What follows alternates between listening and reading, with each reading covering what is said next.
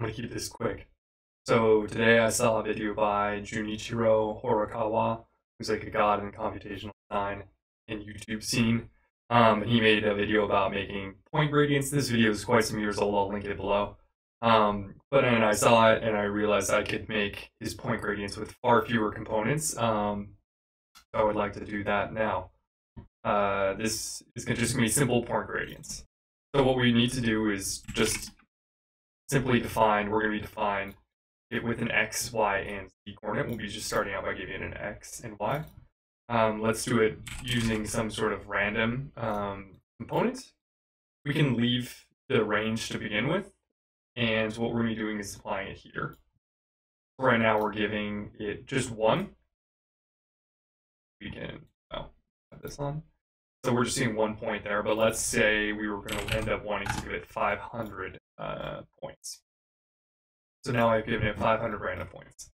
But we don't want it just to be in the x direction, so let's duplicate this guy, and now we're going to feed it here.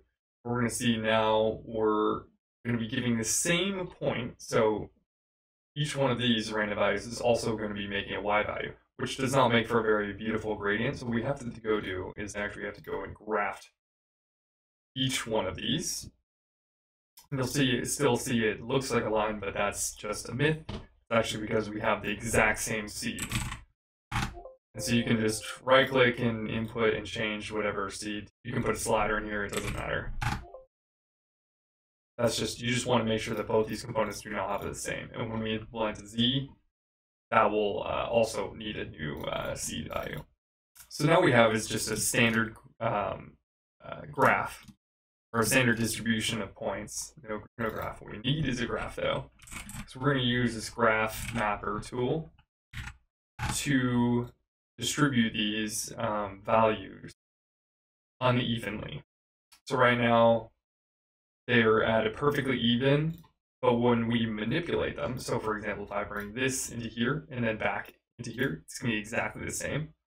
However, if I start to move this, we're going to start to see some nice gradients.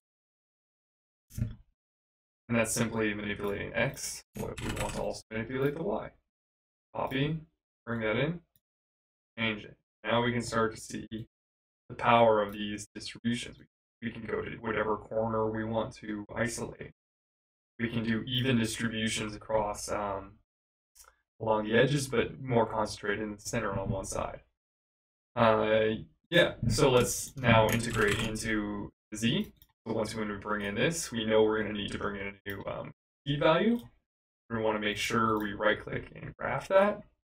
And once we set this seed, that'll do very to the exact tune of, all right, uh, a little too big for Grasshopper. Now we can see we have some sort of um, creation that's consolidating. I kind of preferred edge condition, so you could see the bounding box. Let's all just kind of bring these guys up against this corner. You can see now we have this beautiful distribution that's close to the wall and doesn't involve culling points or any of that nonsense in his video. Not that I don't uh, appreciate you and like your work, Junichiro. If I'm saying your name right, I also hope I'm doing that. Um, yeah, so that's that's it. Cut the tutorial. Uh, now I'm just going to put in a Voronoi 3D because I think Voronoi 3D is a funny little thing. Actually, they came up with that Voronoi overdose warning. because if you don't overuse Voronoi, it's sort of the uh, classic. Uh, we're, what we're doing here is we're not overusing Voronoi. So I'm just going to simply um, bake that, and now you can see we have it's in its fragmenting much more uh, with a higher concentration where all those points are. Um, and to visualize it, let's just uh, sort by the area and let's remove some of the larger areas. So we want to get the, the, the cells that are smaller than, for example, 15. Let's see. And then we can just cull that pattern of cells being the item that we're culling, and this as the pattern that we're going to call. And then let me just hide everything. preview off. And let's just bring in a custom um, custom preview from human. Bring that in. What you can see here is now we have this beautiful concentration of points that expands. And we, and I mean, of course, so I encourage you to play with these. See, see what happens when you use different graph mappers.